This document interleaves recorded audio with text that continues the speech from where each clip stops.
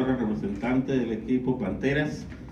Eh, pues un breve historial de nuestro equipo. Nosotros incursionamos en la ACB por primera vez en el año 2008 como invitados y participamos tres años consecutivos hasta el 2010.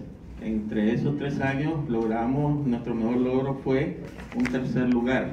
Esta vez, en el 2016, regresamos eh, apostando un poco a la juventud.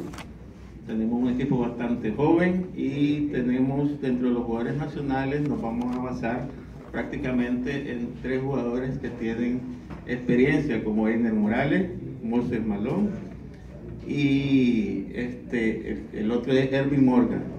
Los demás pues son, no son novatos, son jugadores jóvenes de mucha proyección eh, y vamos a tener el aporte de, un jugador estadounidense, Nicolás Harden, y dos jugadores dominicanos, uno de ellos es Joan Torres y el otro es Teodoro Romero.